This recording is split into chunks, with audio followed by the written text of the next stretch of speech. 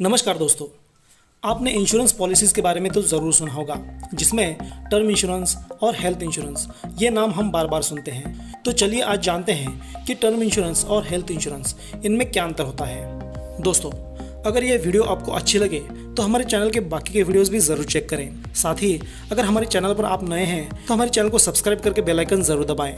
Health insurance इसका simple सा मतलब ये है कि एक कस्टमर यानी जिस व्यक्ति ने किसी कंपनी की हेल्थ इंश्योरेंस पॉलिसी ली है, वो उस कंपनी को हर महीना एक फिक्स प्रीमियम देता है और बदले में वो कंपनी उस कस्टमर की अचानक से निकले मेडिकल एक्सपेंसेस जिसमें किसी भी बीमारी का ट्रीटमेंट सर्जरीज और हॉस्पिटलाइजेशन इन सब का खर्चा उठाती है या फिर एक फिक्स अमाउंट निर्धारित करती है उस कस्टमर के किसी भी मेडिकल ट्रीटमेंट के खर्चे को उठाने के लिए। इन सब के लिए कस्टमर और इंश्योरेंस कंपनी के बीच एक एग्रीमेंट होता है कि कितने साल तक प्रीमियम भरना है और कंपनी कितनी साल तक उन्हें इलनेस कवर देगी। इस पॉलिसी में आपने भरे हुए प्रीमियम के पैसे पॉलिसी खत्म होने पर वापस नहीं मिलते हैं, क्योंकि आपके हर महीने के प्रीमियम के बदले कंपनी आपके अचानक से निकले किसी भी हेल्थ ट्रीटमेंट के खर्चे को उठाने का प्रॉमिस करती है।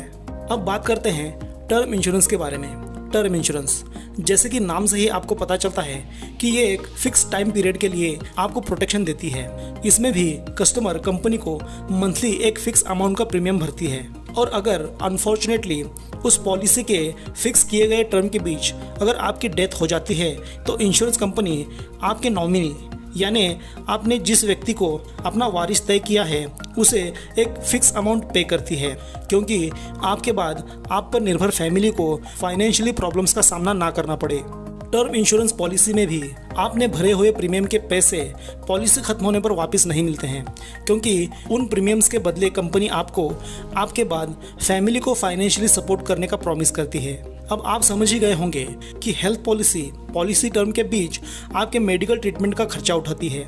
और term insurance policy policy term के बीच अगर आपकी डेथ हो जाती है तो आपके फैमिली को एक बड़ी रकम फाइनेंशियली सपोर्ट के तौर पर देती है। दोस्तों, अगर वीडियो अच्छी लगी हो तो इसे अपने ज़रूरतमंद दोस्तों में ज़रूर शेयर करें। साथ ही चैनल को सब्सक्राइब करके बेलाइकन ज़रूर दबाएँ।